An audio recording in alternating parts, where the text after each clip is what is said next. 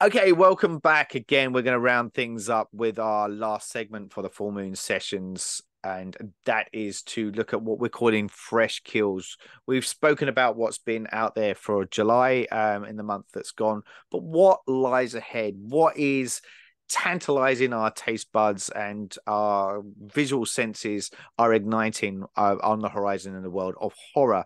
Well, first thing we're going to kick off with is the Voyage of the Demeter, um, which uh, out here in Australia it's called Dracula Voyage of the Demeter. It's got other names on the Northern Hemisphere, all around the same idea, though. It's taken the one chapter, one chapter from Bram Stoker's Dracula, um, which is on board of the dreaded Demeter ship, where Dracula is tra- traveling from Transylvania over to London. And and the occupants all die one by one throughout it. Um, and this is a really quite a cool premise i feel. I feel like taking this one chapter and then expanding that outwards um, into a feature length has promise. Um, it was always one chapter that stood out when i read the book as well. I felt like it was a very strong chapter.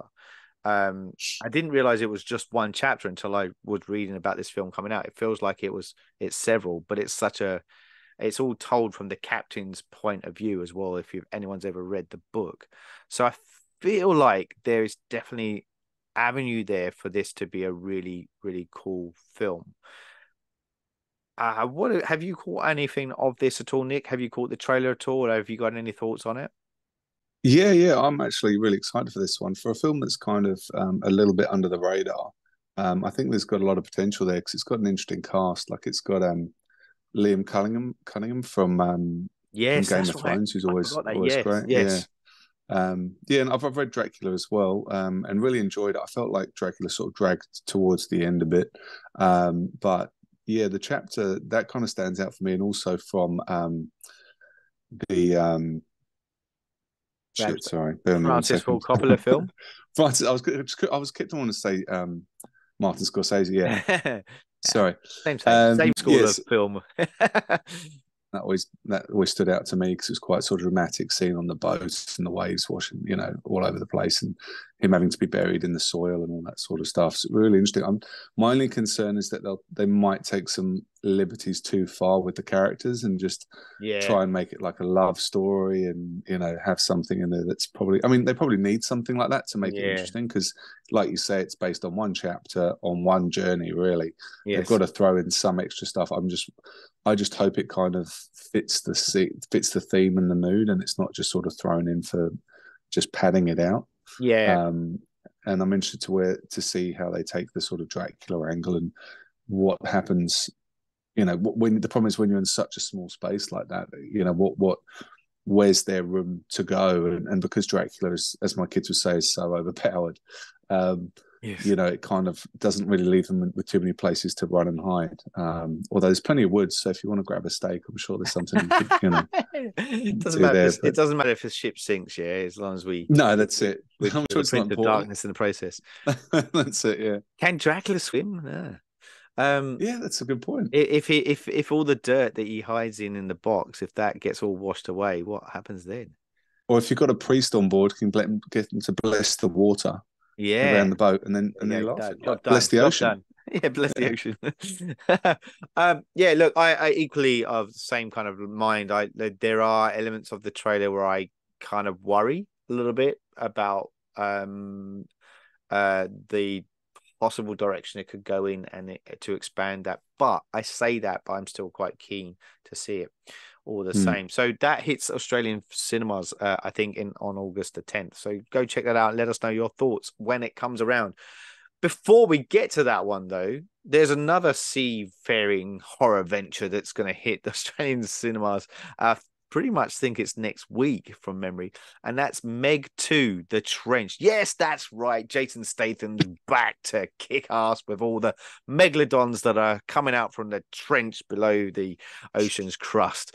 Um, this is going to be massively, uh, again, talking about earlier when we were talking about. Um, Russell Crowe chewing chewing up the scenery. Jason uh, Statham's certainly going to do that this here again here.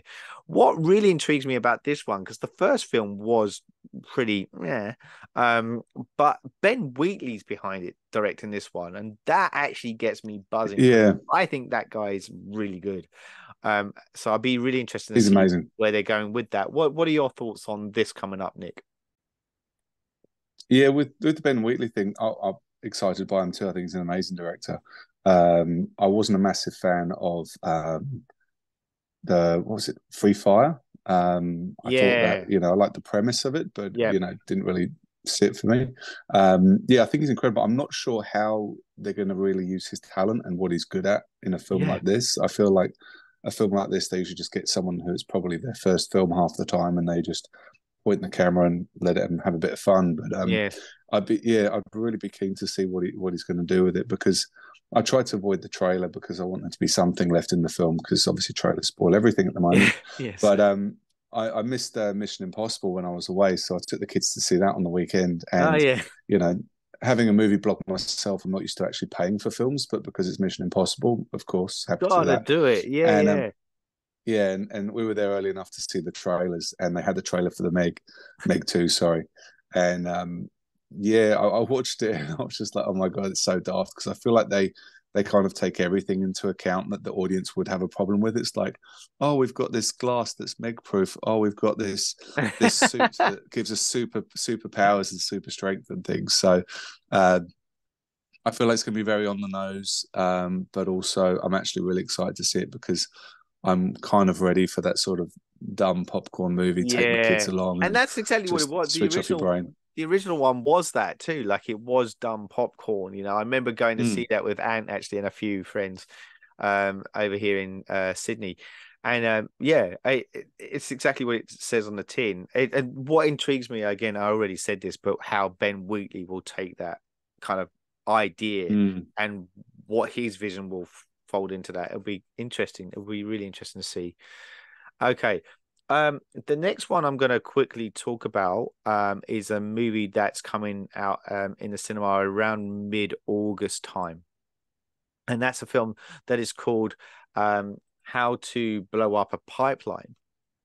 Um, I mentioned that because uh, what intrigues me more about this film is uh, yes, it's a it's a an environmental like action thriller, um, but it's directed by Daniel Goldhaber, who who did that um, Netflix feature called Cam. I don't know if you caught that at all, um, which is kind of like looking at social influences, uh, influences, and and you can never really trust who you're seeing on the screen, which I know is a bit passe now, but he did it in a very smart and quite scary way. Um, and this is his next venture. Um, and the like basically the premise of it is that um, you know, we have a, a group of uh different i think there's like six or seven uh, somebody i'm actually mentioned that it's a bit like uh the hateful eight where there's like a seven or eight people that kind of team up together essentially and their task is to uh blow up this pipeline in um uh west texas um as a bit of a, a finger up against the the powers that be. Um but it's Can I just sorry? Can, really Paul, interesting yeah yeah go for can it I just stop? So I can I just stop you there and read the synopsis for Yeah, go so for a it. film that's called How to Blow How to Blow Up a Pipeline. The synopsis is a crew of environmental activists plot a daring plan to disrupt an oil pipeline. So it pretty much explains the title, and Yeah. that's kind of it. yeah, so yeah. I'm not sure, you know, as as this is obviously a horror podcast, does I, Yeah. I'm assuming there's more to it than that. There might be, I don't know, zombie Yeah, rednecks, look- or there's what's there's got to be something else. To I know there's I know this is a horror thing, but I feel like this probably would sit more in thriller um than Yeah. horror. But I'm I mention it purely as I said because of the director who did Cam, and that was that was like a horror feature. But it it I found like it was quite a fresh take, and I feel like in his eyes you you and it feels like it could be um a really quite interesting journey into um social activism um and I think there might be a lot to be said with that one. So I'm mentioning it purely on that basis alone. So I say it looks like a, a cool feature anyway, coming out. Um, and released at yeah. the same time in cinemas out here on uh, 17th of August um, is a film called Sanctuary. Um, this stars um, Margaret Qualley and Christopher Abbott, who um, lead uh, what is essentially a cat and mouse thriller again, another thriller, um, set in a claustrophobic hotel room where the heir to a hotel empire and the dominatrix who has primed him for success become locked in a battle of wits and wills as he tries to end his relationship with her. Um, this sounds quite interesting as well. As I said, cat and mouse kind of uh, male female power um, dynamic, pendulum swinging um, approach to it. So it could be like a quite a nice uh, buzz. I really like Christopher Abbott too, um, who's in this. Like he's been in quite a few things.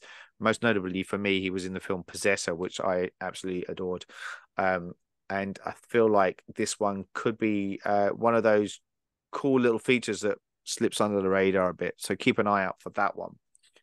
Um, now we're going to go a bit kind of uh, family friendly horror because rounding out the end of August is Haunted Mansion. Now, this wasn't done that long ago. I feel like it was based. It's based on the you know the um, the theme park ride in uh, Disney, um, and as I said, not long long ago, Eddie Murphy did did a version of this film. Um, but they're trying to reboot it again for for the for this next generation. Um, and the premise of it is basically a single mother and a son move into a mansion, um, uh, only to find that it's haunted, and they combat the spirits. Um, so they have to hire a former paranormal investigator turned tour guide, a priest, a psychic, and a college history professor in order to try and rid the mansion of the specters that locate within. Um, this could be potentially go either way um, as a feature. It is Disney, so it, yep. it, it, it is in safe safe-ish hands. Um, but it is aimed at the uh, the younger market, so um, don't expect any kind of uh, big scares in there. Um, but it could be a good, fun, fun, entertaining film for the family, and it could, if they handle it well, it could be one of those movies that marks as a first venture for young younger kids into what is horror um, on the screen. So it'll be interesting to see and mark that one. I don't know if you've caught much of this at all, Nick, or have any thoughts on it, but please let me know if you do. Yeah, I was I was wondering how you're going to finish that sentence of like a, a family friendly horror.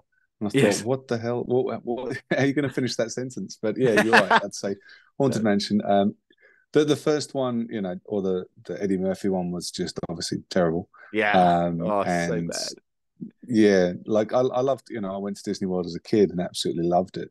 Yeah. Um, oh yeah, me too. The, I just remember gonna... the mirrors, the one with the mirror, you know, with the mirrors and stuff. Yes. That was that was that to me stood out. But yeah, yeah. Anyway, you were saying yeah. No, no, the, the mirrors and also the ceiling when the ceiling started to rise, and you know, as a little kid, I think it was yeah. like eight or so, and just I yes. still remember just the feeling of like, is the floor sinking or is the ceiling going up? Like, still trying to get your head around it while it's all going. And you you're in this like you know small room filled with people, and yep. it's it's quite a yeah, it's it's a physical experience. It um, is. And so when you hear that Disney Disney are making another movie about another ride, you wonder really what where they're going to go with it. But I think they've got a they've got a good cast like Owen Wilson and especially Jamie Lee Curtis. You know, she's been quite hyped for this one. I think that'll be yes. fun. Yeah. Um, and I, I, think you know I've always got time for uh, that sort of old fashioned. You know, I know it's not a who done it, but I feel there's probably might be some mystery in there. And yeah, like I even uh, even rewatched Clue the other day. Um, just yeah, it's just because it's so much. It's yeah, yeah, So um, yeah, I think that kind of genre is interesting. And like I say, if yeah. it is a bit of a, a gateway for other kids to start experiencing, you know, not necessarily gory horror, but just like that thriller kind of yeah. that, that, kind of excitement that you can get. You know, that'd be fun. But I'm worried, you know, if it's anything like the other Disney remakes that have been churned out recently. Yeah. Um, you know, I can't talk too badly about them because I just haven't even bothered watching half of them, like the Little Mermaid. I just I didn't yeah, feel like I needed yeah. to give that my time. Um, but uh, yeah, I my hopes aren't high, but I'd love to be surprised from that one. Yeah, yeah. Likewise, likewise. It'll be interesting to see. I, I will definitely check it out when it when it spins around anyway, and I think just lastly on that note as well is like I think as you just touched on something you said about it, the experience of the ride itself. That's going to be quite. That will always be really hard to capture on on screen, um, because it, it is you are going through the physical senses um on that ride. So I think yeah, it'd be interesting to see. But I, you know, ever since Pirates of the Caribbean, then they've always been trying to emulate that and all of their other rides, right? So mm. uh, wherever they can pull in source material, they'll try it. So yeah, be interesting to see how that ended up. Uh, okay, the very, very last thing we're going to look at or discuss is not long ago, it was only like about 24 hours uh, before this record um, uh, that Nick and I are going through is the uh, trailer for the latest Exorcist film called The Exorcist Believer. Um, is uh, hitting all the uh, the streaming platforms that you can talk about or look up um, at your own venture. Um, and we mentioned this on uh, the original Exorcist um, in our previous segment on uh, the Killer, Bu- yeah, the Killer Buzz segment earlier on for Full Moon Sessions. Uh, but we're now looking at what would be the next venture. Now, there have been various installments of The Exorcist. They had two sequels, and then there was the remake, uh, or like, sorry, The Exorcist, the beginning, and the other one that came after it that was kind of like meant to be afterwards. There was the Exorcist TV series that came out. So it's not like this is the first time we're going into this realm. Um, now the synopsis here says it's the uh, we have parents of demonic possessed girls desperate for help go in search for someone who has had similar experiences. Uh, enter Chris MacNeil, played by Ellen Burstyn again, coming back. So this is very much like how Halloween was, how casting um, a more elderly uh, central figure who has been iconic in the franchise um, so we had that as we said with Jamie Lee Curtis, and now we're seeing Ellen Burstyn doing something similar. The what ties the two these two films together that I'm talking about is the director David Gordon Green. Now, that in itself makes me a little bit positive, but also worried because the Halloween 2000 and uh, what, what hold on what what year was that 12 that the uh the movie came out? Uh, or my Halloween? No, hold on. 2020, what, 21? 21 and 22. 2021 so and 22, yes. Yeah. So the original, like the Halloween, not the original, the, the Halloween that came out in the most recent trilogy, the first installment of that was was really good. I really enjoyed it. Hence why I think if he carves it out well, David Gordon Green will have a really good feature film on his hands. But what he did with the other two films is borderline criminal. Um, so it makes me makes me really quite nervous. Like that, mate. no, let's just quick, quickly tap into that, mate. Go on, I want to hear more about the borderline criminal. Well, yeah, yeah. Well, okay. Look, I, I, I felt like the first one was the reason why I champion it is because it really tapped into the impact that trauma has, right? That was its central core. And trauma never goes away. It it it, it sits with you. And to explore that with an iconic character in Laurie Strode and Jamie Lee Curtis's performance of that, I thought Jamie Lee Curtis in that film bared her soul and was really, really fucking good in it. Um, and I and I enjoyed and I enjoyed it. I thought it was a really, really good venture back into Haddonfield. Um, so my issue with the other two um, that followed is that it became this macho revenge flick with you know uh, Tommy uh, Tommy whatever his uh, uh, yeah. uh, forgotten the guy's character's name now. Uh, played by Anthony what's his face? Um, uh, coming back in um, and and that whole kind of um, you know uh, how uh, people get pumped up and fueled by rage to essentially uh, enact their own justice. Um, yeah, I just didn't sit. It just didn't sit with me, and I felt it was it. It just wasn't as enjoyable feature. Um, I thought it was just average, basically. Uh, there were pockets I did like, um, but it just I kind of came out of it going that was a little underwhelming considering where they uh, launched with. and then we get that Mm. absolute turd fest of a conclusion um with with the halloween ends um and and the whole kind of idea like michael myers was was sidelined by the other character in it and the idea that evil and i know that's something that was passed around and played with with halloween 4 um but the, the idea of evil being passed on or being able to be passed on and that the shape is always meant to be exactly that it's evil personified right? But nobody goes there to see some kind of uh, uh, kid being you know bullied and then forced to take directions. It's the nature versus nurture thing right? Um and Yeah. playing around with that concept um in something like it it wasn't a halloween film. It was if, if it had michael didn't have michael myers in it and you just had that journey of a kid uh going that way you could buy that journey right? Um and Yeah. maybe he idolizes like real life serial killers out there and that's what propels him because he's like that gives them the notor- notoriety no, no, oh can never say that word notoriety to um push forward um in their warped belief of what society is. Um you could buy that but you're not you're not playing there. You're playing in the realm of halloween and haddonfield and everything that comes with what michael myers is. So essentially what he did is he killed the franchise. There is no way back from that unless they try and resurrect it again. It had people saying rob zombie's films were better than this shit that that's how bad that is right that's saying something That's a statement. That's it a is statement. right and Yeah. you and you to go from something so held up and for me the problem is i reckon like all the like um excuse me but i reckon there's bullshit around we always had a trilogy in mind um sure they had the idea of the very first one that came out and that was a bold enterprise and because it was such a commercial success they're so going to go back up with that and at the Mm. time you're going yeah i'd love that they're finally doing something with this character that's interesting not just michael myers but the uh, remnants of what or or everything that is left behind in his wake um that's interesting um you know but it's just it just didn't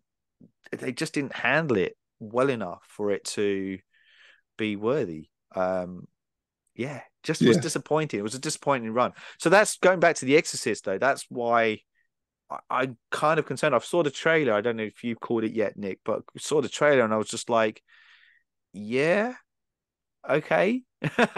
Um What's what's the purpose of it though? Why? What's what's the point? Of doing it So it's yeah, so it's a sequel to the 1973 yeah version. a, a sequel in the sense that you are pulling uh chris macneil back into it because she has had an experience with exorcisms with kids in the past that's Hmm. that's the line and thread that i can that i all i can see in there um i didn't see any um religious uh representation um at all so i don't know whether they will be present or not. I don't know because it seemed more uh touched on the fact that these two kids go off um into the woods and they disappear for three days and come back but they feel like they've been gone for just a few hours. Um yeah i don't know. Um i i don't Oh. think i'm that convinced yet.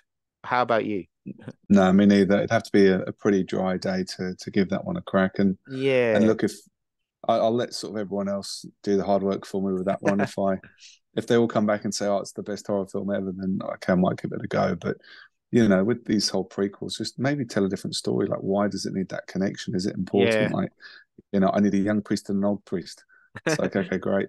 Um, you know, I just yeah, it's it just gets a bit frustrating. And I, I know we've grown up with sequels in our lives that we probably or you know remakes in our lives that we didn't when we were younger didn't even know were Yeah. remakes, but still loved them. And this is yeah, like I say, a sequel, but I'm just not sure who it's really for. Is it for No, people who it's love an the interesting one, original and yeah want the story to continue, or why? Yeah, I mean it's still it's it's Blumhouse are behind it as well. So like and Hmm. and the thing was with Blumhouse, to their credit, are able to or the, what they've been quite good at doing is is uh, pushing these uh, horror tales to a new audience. Um, and they and they market themselves in a really really good way. I do feel like they are hit and miss with their feature films. Some some some are really compelling and some not so much. Um, so it'd be mm. interesting to see which one that this one sits in.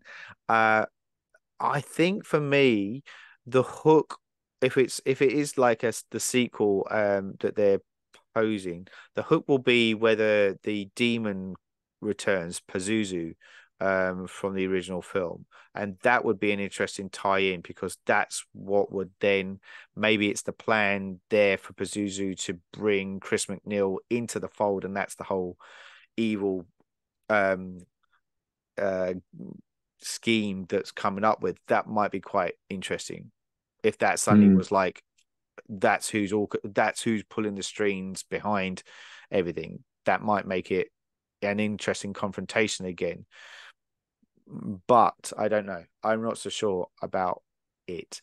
And and like the idea of like two girls being the ones possessed, that just feels like you know, like the old trick of let's do the same but a little bit more. Um, let's do two sharks instead of one shark. exactly right. That's what it feels like. And I'm like, oh, yeah, really? So I don't know. I'm I'm quite I'm quietly uh, sitting on the fence with it. I will happily be um, uh, pleased by uh, or or persuaded by um, the the end result. But I don't know. I I just I'm not so sure. And I am a big fan of the original The Exorcist too. This is the thing. Like I I remember going to see that at the movies, and um, William Friedkin Friedkin was able to really capture something quite chilling on camera, and he built up some really interesting mm. ca- um, characters there as well. And uh, yeah, you could question his the way he went about um, uh, shooting the film and his choices that he made, but the end result speaks for itself. It's quite a compelling feature. Um, so I don't know. It'd be interesting yeah. to see how they or where they go with it.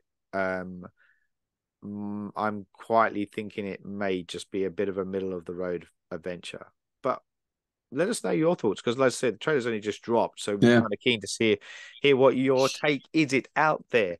Um, before we bow out, Nick, uh, is there anything else that you know that's on the horizon that you want to mention? Otherwise, we will bid adieu to everyone out there and see them uh, when the next full moon rolls round. Uh, yeah, top of my head, nothing really jumps out too much apart from talk to me. That you know, yeah, that's, that's on my list. Looking forward to that one. Absolutely, let's bring that um, one because, back. Yeah, yeah, it's it's not. Um, it just feels like something a bit fresh. Like I know the necessarily the premise might not be, um, you know, extremely something we never heard. You know, I'm sure we might have seen something like that before, but I think it's the execution which I'm keen to see and yeah, and how that goes. So, um, yeah, looking forward to that one. But yeah, not not much. I mean, look, there's not much else generally that I'm massively excited about, no. let alone just horror stuff. But um, yeah, you know, nothing too big on the horizon coming up yet. But uh, yeah, hopefully something will surprise me. Yeah, we'll hope so. We'll keep keep an eye out. And as always, um, those that are following us, just let us know what you're excited about, what you think might be on the horizon. Maybe it's not coming up in August. It might be something a bit further afield.